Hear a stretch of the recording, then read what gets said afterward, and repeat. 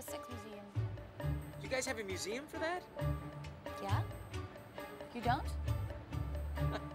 Good, Mike. Good